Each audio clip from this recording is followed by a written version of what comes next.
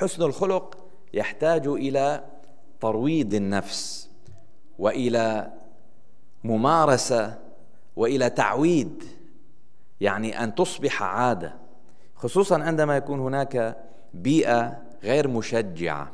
لو فرضنا إنه في بعض العادات الأخلاقية السيئة أخذها الشخص من بيئته سرعة الغضب مثلا الثأر المشاكل إلى آخره. غصب حقوق الناس أكل أموال الناس بالباطل. قال لك هذا مو قدر. يعني ما لازم تسلم إنه إيه أنا هيك أنا هيك ربيت أنا هيك انشأت. شو هلا بقى بدي أتغير؟ لا بدك تتغير.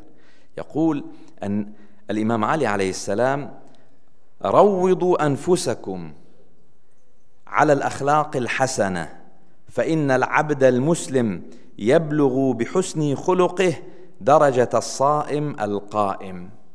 ويقول النبي صلى الله عليه وآله في الخطبة المشهورة والمعروفة في استقبال شهر رمضان, شهر رمضان أيها الناس من حسن منكم في هذا الشهر خلقه كان له جواز على الصراط يوم تزل فيه الأقدام.